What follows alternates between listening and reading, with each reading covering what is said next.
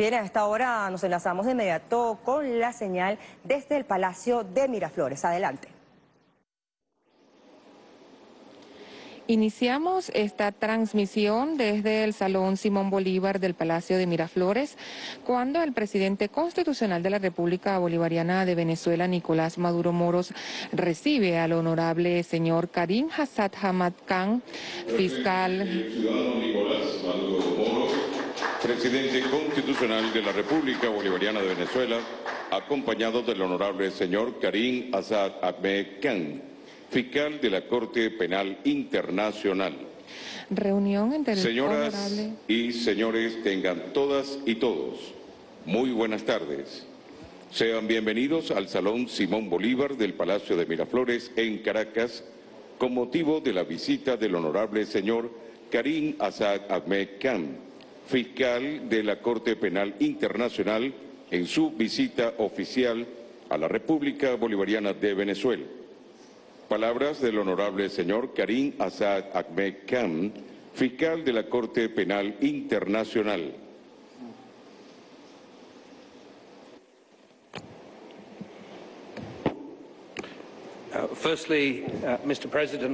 En primer lugar, señor so presidente, much for the very muchísimas gracious gracias invitation por la gentil invitación que me ha cursado al invitarme a Venezuela como fiscal general de la CPI por segunda vez.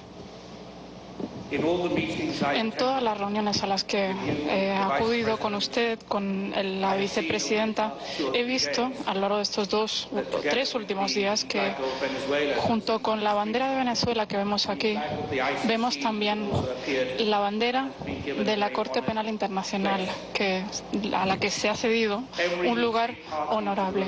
Todos los estados partes del Estatuto de Roma tienen el mismo valor. Cualquier Estado que se encuentra con dificultades a la hora de cumplir con el Estado de Derecho ha de ser respetado. Yo soy consciente de que mi visita aquí no ha sido sencilla, quizás, pero me siento muy agradecido por el compromiso y las- los francos debates que hemos tenido. Señor presidente, usted ha sido franco, consistente desde mi primer viaje que tuvo lugar en noviembre del año pasado. Fue muy claro con su posición de que las investigaciones llevadas a cabo por mi, fiscalía no están justificadas. Yo opino que esto requiere darle mayor crédito, teniendo en cuenta que a pesar de esta posición han vuelto a invitarme y hemos tenido este intercambio franco. Y me atrevo a decir que unos días, unos dos últimos días muy fructíferos. En noviembre acordamos el memorando de entendimiento firmado por Su Excelencia, en el que también abrí una investigación con ese compromiso a unas investigaciones independientes e imparciales. También acordamos que actuaríamos de forma sincera y de buena fe cumpliendo con ese memorando de entendimiento para que Venezuela pudiese remontar sus esfuerzos y que nosotros también pudiésemos colaborar para una asistencia efectiva, apoyo técnico para ayudar a Venezuela a garantizar la justicia en la medida de lo posible. A lo largo de estos dos o tres últimos días, como digo, hemos tenido unos debates, unos intercambios constructivos y destacables en muchos sentidos. Las partes han acordado, señor presidente, usted también ha acordado que mi fiscalía podrá abrir o la Fiscalía de la CPI podrá abrir una oficina aquí en Caracas. Es un paso muy importante, muy significativo. No es algo de cara a la galería, es algo concreto que me va a permitir cumplir con mis responsabilidades de conformidad con el Estatuto de Roma y comprometerme con uh, las autoridades venezolanas aquí. El segundo punto sobre el que nos pusimos de acuerdo.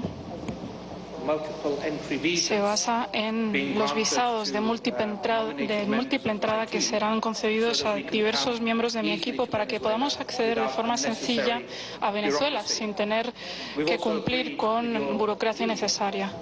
Y también hemos reforzado nuestro compromiso eh, con debates entre nosotros, intercambios con, con el presidente, la vicepresidenta y otras autoridades. Y también hemos acordado tener unas reuniones de trabajo entre los miembros técnicos de mi oficina y los miembros de su gobierno. Y algo que me parece importante en este acuerdo es que hemos logrado un consenso. Un consenso en el sentido de que la Fiscalía podrá trabajar con organizaciones internacionales y con asociados colaborando con el apoyo de Venezuela, incluyendo la Oficina del Alto Comisionado de las Naciones Unidas para contar con asistencia y lograr así que el memorando de entendimiento no solo sirva para adornar o algo que queda muy bien sobre el papel cuando es firmado, sino algo que podemos poner en la práctica. Uh, Además de todo esto, Mi fiscalía también cuenta con asesores especiales que mm, Uh, podrán proporcionar asistencia técnica a Venezuela para facilitar la transferencia de conocimientos, para que podamos profundizar y fortalecer nuestras alianzas. Y también podremos trabajar para identificar distintos ámbitos de trabajo a nivel institucional marcos en los que podríamos seguir trabajando con su gobierno y las autoridades venezolanas, no solo para garantizar la aprobación de leyes, sino también su plena ejecución y aplicación. Y seguimos de acuerdo con esos avances, si bien le parece, Latter half of 2023, para que en la segunda mitad de 2023 tengamos una conferencia de alto nivel en Caracas en la que también podríamos trabajar en, en nuevas vías de intercambio de conocimientos técnicos con distintos actores de la región acerca de la cuestión del, estado, del Estatuto de Roma y la cuestión de la complementariedad. La complementariedad es el corazón latiente del sistema del Estatuto de Roma. Requiere apoyo y deferencia a los procedimientos nacionales siempre que son eficaces, siempre que son genuinos y siempre que estén eh, comprometidos. Mi fiscalía está comprometida con, con darle vida a esa promesa. Y esto lo digo no solo para Venezuela. Si los estados se remontan, yo estaré encantado de hacerme de un lado. Y yo creo que ese ha de ser el objetivo para todos nosotros a medida que vamos avanzando. Y me gustaría concluir destacando que renuevo mi compromiso para trabajar de forma colegial, transparente y lo más diáfana posible con las autoridades venezolanas.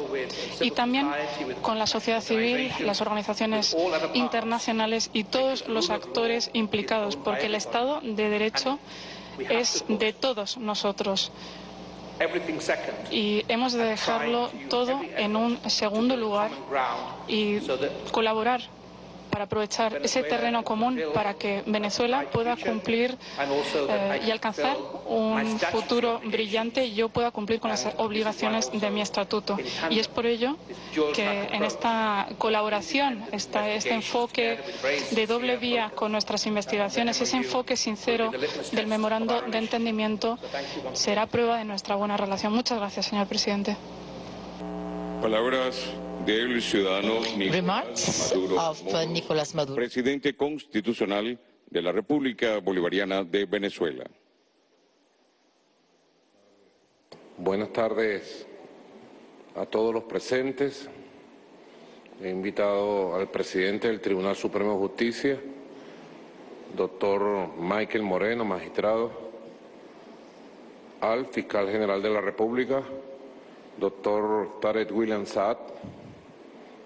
Se encuentra presente la vicepresidenta ejecutiva de la República, doctora del Cieloína Rodríguez Gómez, la primera dama, doctora y diputada Cilia Flores de Maduro, la embajadora de la República Bolivariana de Venezuela ante la Corte Penal Internacional, doctora Gladys Gutiérrez, y el alto representante de los derechos humanos en Venezuela, el doctor Larry Daboe. Quiero saludar de manera muy especial al equipo de trabajo de la Fiscalía de la Corte Penal Internacional, a Mila Aro Sánchez, Franco Matillana, Jonathan Agar, bienvenido siempre a Venezuela, y en particular al fiscal de la Corte Penal Internacional, doctor Karim Assad Ahmad Kam, bienvenido. Hemos tenido casi tres días nuevamente de trabajo, de diálogo interactivo, en cumplimiento de la letra y del espíritu del memorándum de entendimiento que acordáramos por consenso y firmáramos en noviembre pasado. Ahí en ese memorándum de entendimiento están los elementos de ir a un proceso de complementariedad institucional entre el Estado venezolano y la Fiscalía de la Corte Penal Internacional. Eso es lo que ha venido ocurriendo.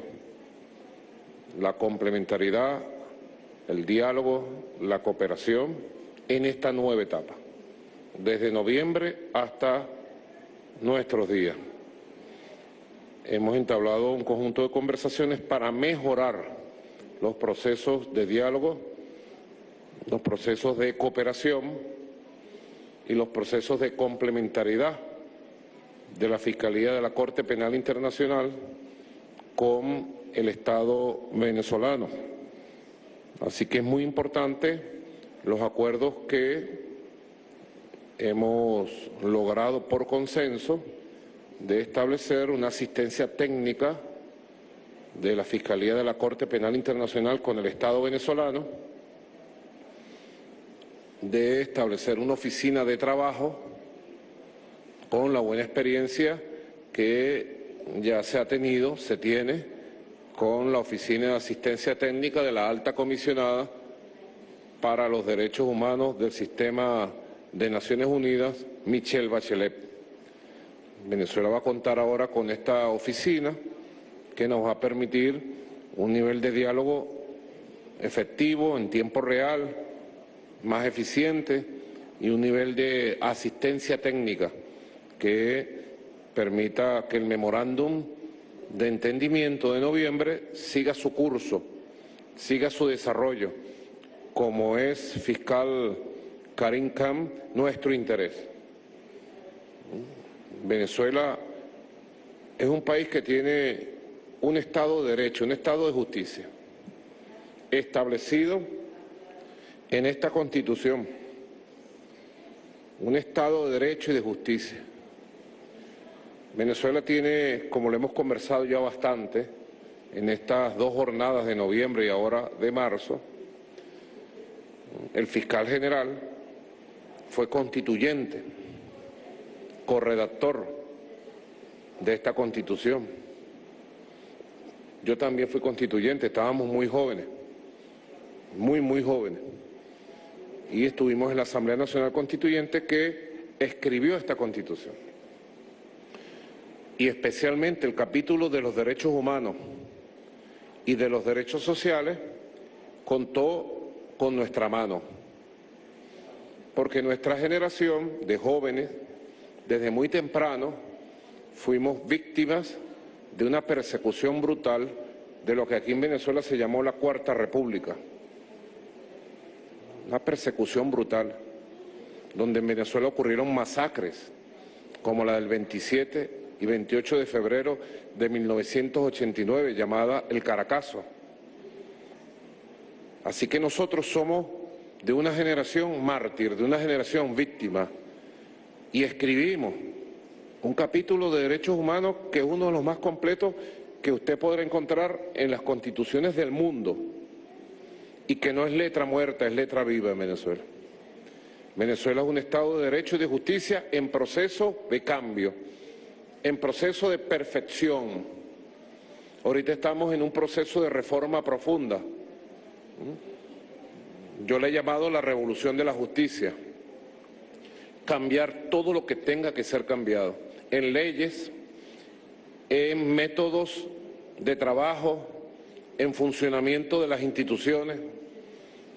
Ese proceso se ha dado en Venezuela a partir de un gran diálogo social, institucional, político, y comienza a arrojar importantes resultados, muy importantes resultados, que ustedes lo valorarán a profundidad, lo podrán conocer a profundidad ahora con el establecimiento de esta oficina de asistencia técnica.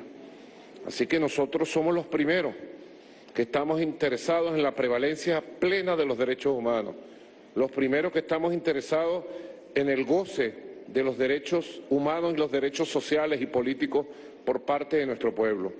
Somos los primeros que estamos interesados en que se haga justicia y donde se cometa un delito de la característica que sea, se castigue de acuerdo a la ley, a tiempo.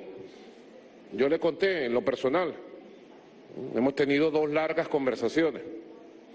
El día de su llegada, el día martes, del fiscal Karim Assad Atmatkam, tuvimos una reunión de dos horas, en, intensa y extensa. Y luego el día de hoy hemos tenido una reunión de más de una hora. Y yo le decía lo que uno siente cuando ve una injusticia cuando ve el mal funcionamiento de una institución, cuando ve corrupción, corruptela, cuando ve el alargamiento de procesos judiciales sin justificación de ningún tipo, porque nunca tendrá justificación.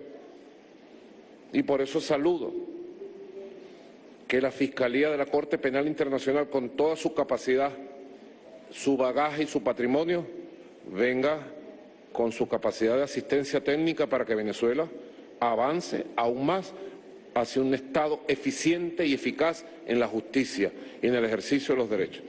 Así lo veo, así lo siento, así lo creo. Y, fiscal, como le he dicho en privado, usted tiene las puertas de Venezuela abiertas. Su equipo tiene las puertas de Venezuela abiertas. Aquí están las instituciones de Venezuela.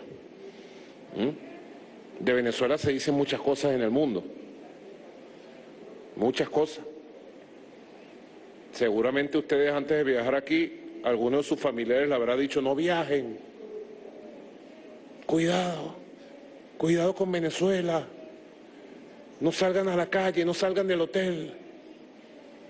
Son unos monstruos. Maduro es un monstruo, tengan cuidado. Venezuela es Venezuela, es un bello país, con un pueblo hermoso, déjeme decirle, fiscal, un pueblo hermoso lleno de valores. Es un pueblo histórico, es el pueblo de ese hombre que está ahí, Simón Bolívar. Es el pueblo de ese hombre que está ahí. Forjado en valores. Aquí estamos, pues. Siempre vamos a estar aquí. Y las puertas de Venezuela están abiertas. En el marco del memorándum de entendimiento, del Estatuto de Roma, aquí estamos, a sus órdenes. Muchas gracias. Que Dios bendiga todo el esfuerzo que estamos haciendo por la verdad y la justicia. Gracias. Por su Culmina esta amable importante reunión entre el presidente de la República, gracias Nicolás Maduro Moros, y el honorable fiscal de la Corte Penal Internacional, Karim Hamad Khan. Se profundiza la complementariedad entre ambas eh, instituciones. Además, se estará dando una oficina de asistencia técnica a la República Bolivariana de Venezuela como parte de lo que ha sido entonces la complementariedad establecida en el memorándum de entendimiento de firmado el pasado mes de noviembre del año 2021. Han dicho ambas autoridades, continúa el trabajo, una agenda fructífera se ha dado durante estos dos días cuando se han venido reuniendo acá en el Palacio de Miraflores, tanto el honorable señor Karim Hamad Khan como el presidente constitucional de la República Bolivariana de Venezuela, una alianza estratégica con las instituciones del Estado venezolano. Nuestra la Constitución, lo ha reiterado el presidente de la República Bolivariana de Venezuela, Nicolás Maduro Moros, garante de los derechos humanos fundamentales y hacía alusión que durante la Cuarta República acá se violaron los derechos humanos y se establecieron nuevamente en la Constitución del año 1999. Ha sido una reunión fructífera en el diálogo político institucional para seguir avanzando en el fortalecimiento de las garantías de los derechos humanos que Venezuela ha llevado con mucha fortaleza en los últimos 21 años. Allí vemos entonces la despedida entre el presidente constitucional de la República Bolivariana de Venezuela, Nicolás Maduro Moros, y el ex honorable fiscal de la Corte Penal Internacional, que además tendrá una oficina técnica de cooperación en la ciudad de Caracas. Se reunirán con las instituciones del Estado, así como también con la sociedad civil y con todas las organizaciones que tengan eh, interés en este tema. Es así como se desarrolla esta agenda de trabajo presidencial aquí en el Palacio de Miraflores, parte de lo que ha sido entonces la complementariedad eh, del memorándum de entendimiento que se firmó en noviembre del año 2021 para continuar ese trabajo fecundo, un trabajo institucional que va a permitir entonces esta alianza estratégica y el fortalecimiento de las políticas políticas públicas que Venezuela ha venido desarrollando en materia de derechos humanos para eh, la protección de los derechos humanos, su goce y su garantía. Allí vemos la despedida bastante ha sido este una ardua tarea, una agenda bastante profunda de así lo mencionaba tanto el presidente de la República Nicolás Maduro como el honorable fiscal Karim Hamad y lo que ha dicho precisamente dentro de todo este contexto es que eh, se han fortalecido todas estas alianzas estratégicas que se han venido dando en el contexto de este memorándum de entendimiento firmado el 3 de noviembre del año 2021. La complementariedad y el carácter institucional ha prevalecido dentro de lo que ha sido entonces esta importante reunión de trabajo. Es parte de la agenda que se desarrolla acá en el Palacio de Miraflores. Nosotros con esta información vamos a despedir este contacto informativo. Adelante.